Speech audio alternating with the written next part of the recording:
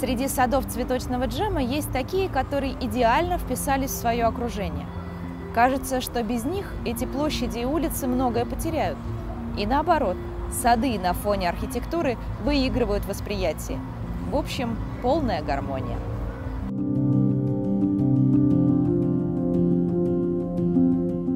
Мы начали с, с темы «Летние сады Москвы». Здесь мы напали на тему русского авангарда, э, Константина Мельникова, всех его идей.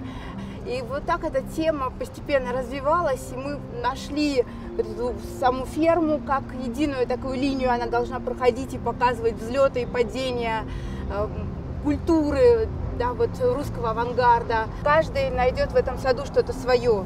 Здесь э, очень много разных элементов, и игровых, и возможность отдохнуть. Сам цвет, сама структура, это все задает э, некий такой мощный подъем красного, красивого, и сам эффект красный, он очень сильно ассоциируется с Москвой. Москва красная, красивая. Э, этот ассоциативный ряд очень прослеживается.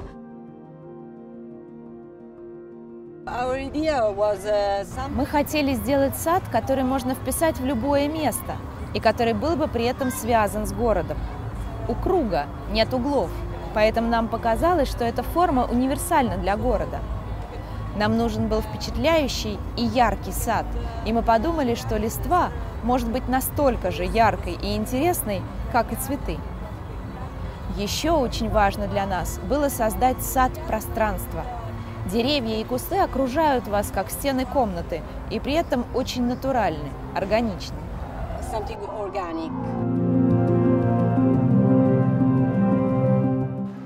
При взгляде на зеркальные стены этого сада снаружи невозможно представить себе, что оказавшись внутри, вы попадете на огромный, очень яркий цветочный луг.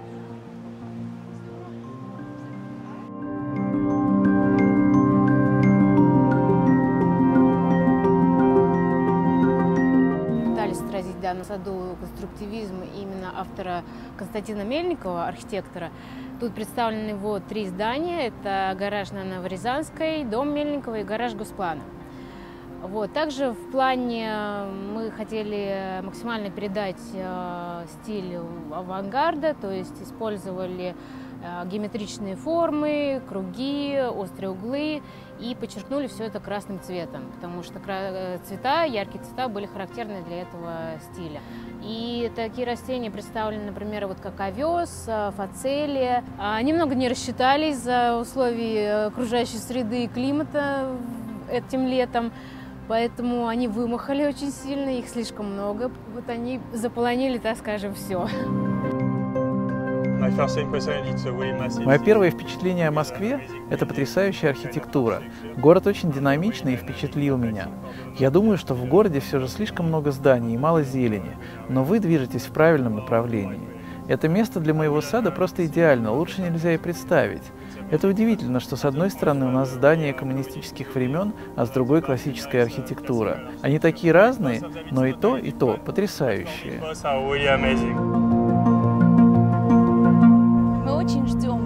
Садах фестиваля «Цветочный джем».